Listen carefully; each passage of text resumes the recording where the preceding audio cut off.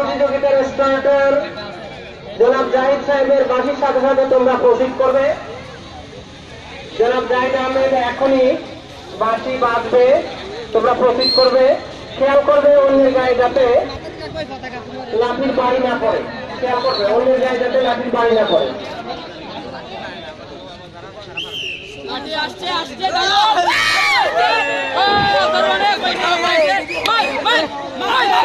আসছে